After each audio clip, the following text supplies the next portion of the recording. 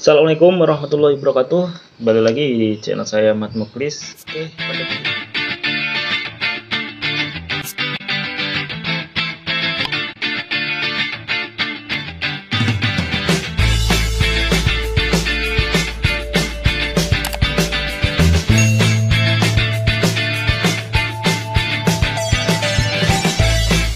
Oh, ini di sini ada dua printer. Ini video maintenance dari printer.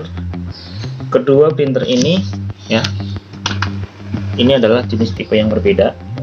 Tipe L360 dan L220 jadi yang jelas eh, permasalahan hari ini adalah printer pada tipe L360 masalahnya apa? Yaitu masalahnya tombol power. Ya tombol power itu tidak bisa dinyalakan. Walaupun dipencet berkali-kali. Katanya mah sama orangnya bilangnya ini bisa nyala saat di saat waktu tertentu. Tapi kan namanya printer pasti kebutuhan sehari-hari apalagi di perkantoran.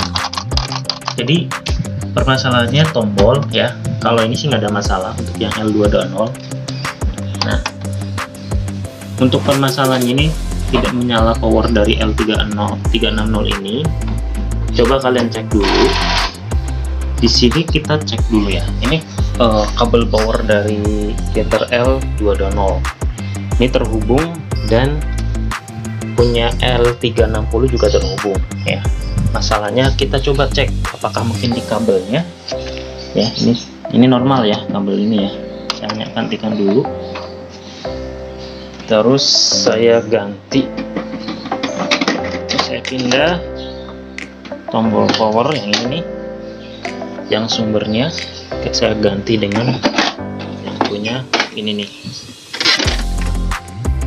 Oke biasanya kabel biasanya ya biasanya ini mah cek. Oke. Saya cek. Tetap normal tidak. Oke sama aja ya. Oke jadi sama aja walaupun sudah diganti kabel powernya L36 ini nggak mau hidup permasalahannya kita harus bongkar nih. Printer ini bongkar. Kita bongkar printernya kemudian kita cek di tombol fast button dari powernya. Oke.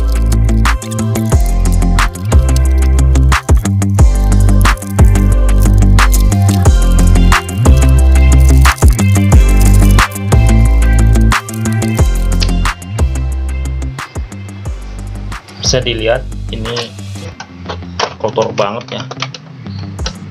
Debu.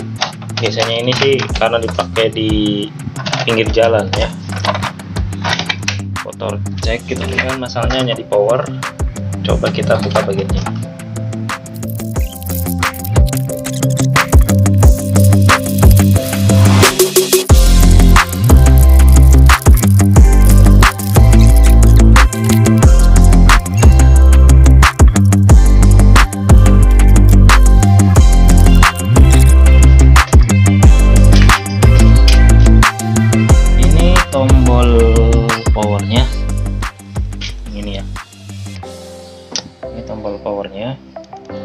bermasalah coba eh, saya jumper dulu ya. Saya jumper menggunakan kabel. Coba ya saya jumper. Kabel kecil. Kabel kecil itu untuk menjumper. Ya. Usahakan kabelnya bagus. Terus kita pasang yang bagian atas dan bawah jangan lupa kabel powernya. Kalau mau ngetes. Colok dulu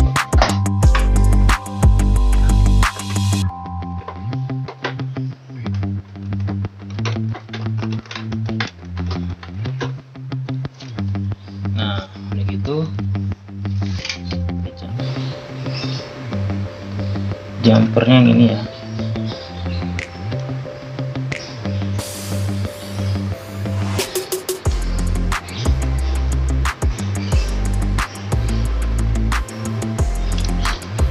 baru nyala.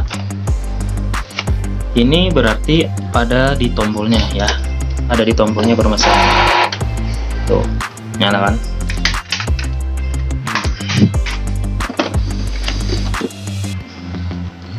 Uh, tombolnya di di jumper. Ya, saya pencet.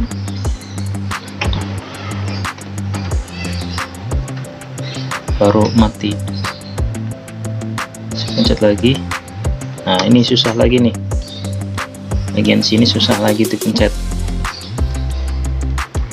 terus saya jumper lagi.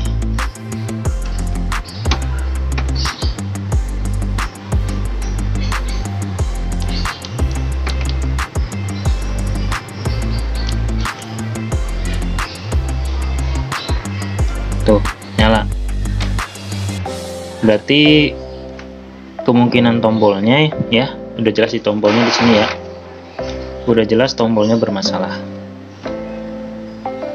Oke berarti saya coba sebelum saya ganti tombolnya saya bersihin dulu di tombolnya dulu ya. Saya coba uh, ini dulu. Saya bersihin menggunakan gunakan ini untuk pelumasnya intinya kayak buat bersihin takutnya kotor karena saya lihat di bagian sini tuh kotor banget dalamannya ya debu gitu ya.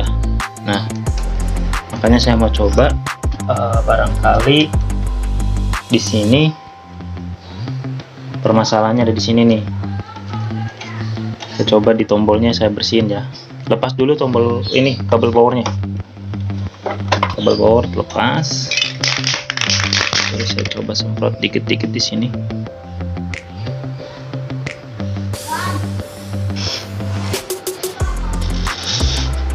hmm. jangan lupa pakai tisu kalau di udah dipasang kita pencet-pencet kayak gini kondisinya eh, kabel power nggak terhubung ya oke okay.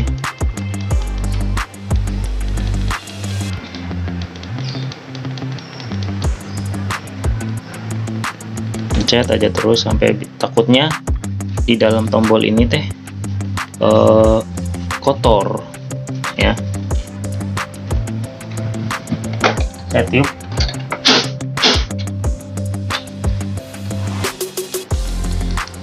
terus sampai berulang-ulang dipencet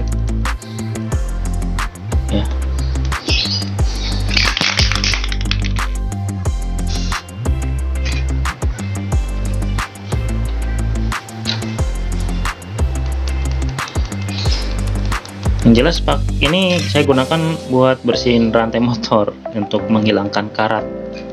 Ya takut ada kotoran di situ. Terus saya coba terus. Ini nggak hidup karena kondisi kabel belum terhubung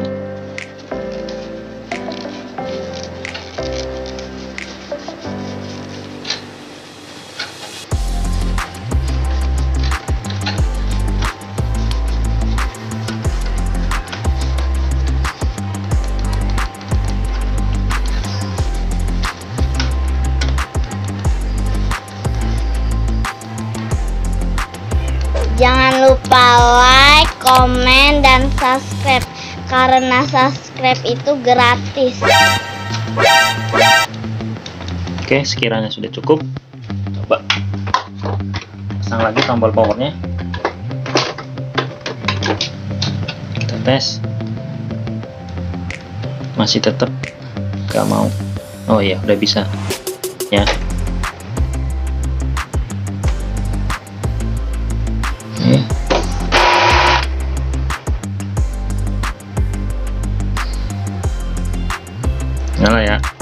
Matikan lagi. Terus saya nyalakan lagi.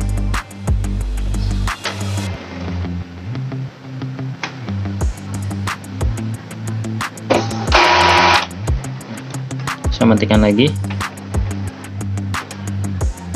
Oke saya nyalakan lagi. Pencet lagi. Saya. Oke. Beres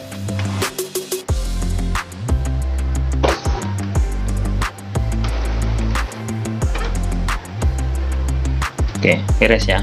Terus saya pasang lagi ya